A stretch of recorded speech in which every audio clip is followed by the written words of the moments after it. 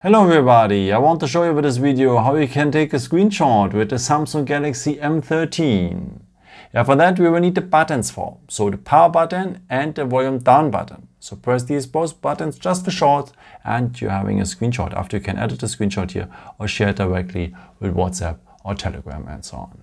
Okay, one more time, the power button and the volume down button just for short together and you're having a screenshot. If you tap now here the editing symbol, you're able now to, yeah, to draw something inside the screenshot or to highlight something.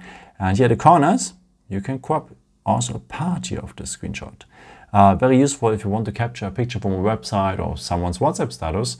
Um, very useful for that. And after you can share this edited part here or with the arrow, you can send it directly to your gallery.